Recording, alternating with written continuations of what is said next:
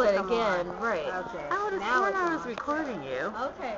Hi Okay. everybody, this is Ananda Leeke with Ananda Leeke TV. I'm here at She's Geeky in DC and it is the uh, first conference for She's Geeky in Washington. It's being held at the National Council of La Raza on 16th Street, one of my favorite streets.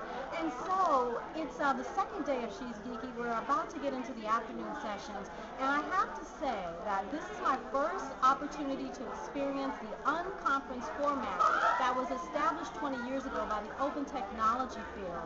And it's exciting because the unconference format allows the participants to create the agenda on site as they're discussing and figuring out what it is they want in the morning.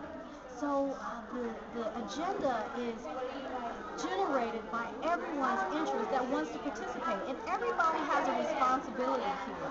They talk about you taking responsibility for one, pursuing your passion in the sessions, and two, pursuing your passion and being responsible for what you learn. And if you're not learning something in a session, then you're supposed to use the two feet rule, which means get yourself up and move yourself to a place where you can learn. That's so that everyone's needs are met.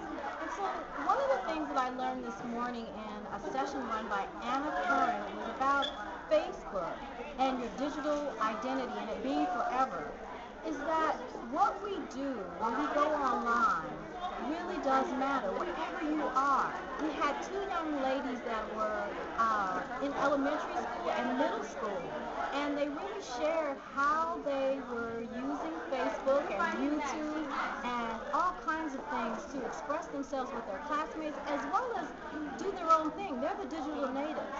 And being digital natives, they're very forward thinking in how they share, what they share, and what they're putting out there online. You've got to give it to the digital natives. They're showing us how we should be acting as far as being responsible with our images.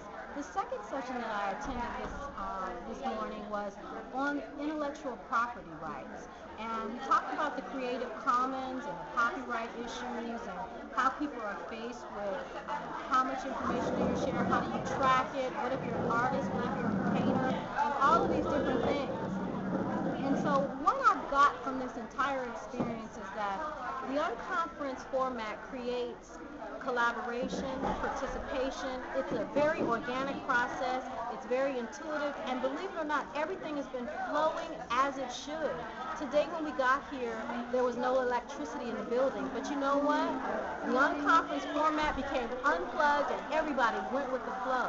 So it just keeps getting better and better and better. And I just want to say thank you to the ladies of Geeky. And thank you, Faith Dow, for videotaping me. Bye-bye.